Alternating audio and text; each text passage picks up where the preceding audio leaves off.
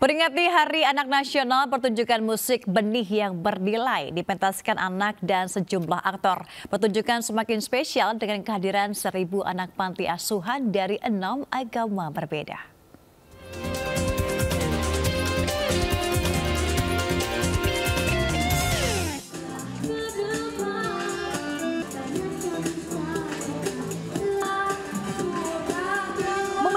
Hari Anak Nasional, Kemilo Emas Anak Indonesia menggelar pementasan musikal yang diselenggarakan di Ciputra Artpreneur Theater Kuningan, Jakarta.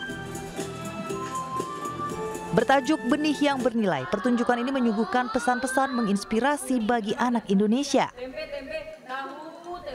Drama musikal yang mayoritas diperankan anak-anak ini turut menghadirkan artis cilik Win Salman dan Rara Sudirman. Aktor Lukman Sardi serta motivator wanita Mary Riana. Pementasan ini menampilkan cerita tentang suka duka anak-anak panti asuhan. Bagaimana anak-anak panti memperjuangkan mimpi di tengah keterbatasan. Menyesuaikan dengan isi cerita, drama musikal ini juga menghadirkan penonton anak-anak dari 15 panti asuhan di Jakarta. Ya benar. sekarang ya.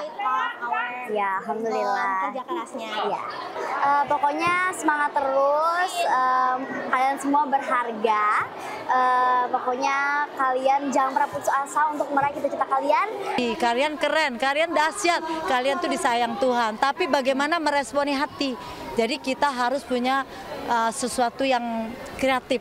Kreatif itu maksudnya banyak hal yang bisa dilakukan. Misalnya belajar dengan rajin, terus kalau memang tipe dia olahragawan latihlah apa lari apa biar jadi pelari yang baik. Kalau mau jadi penulis penulis yang baik. Jadi penyanyi penyanyi yang baik jangan setengah-setengah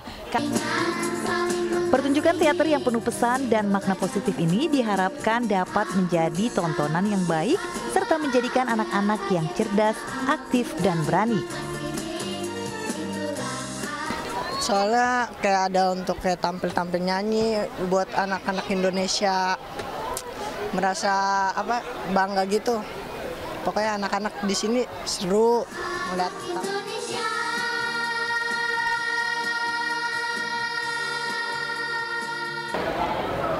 Ya pemirsa pertunjukan ini tentu sangat menghibur dan menginspirasi anak-anak di Indonesia.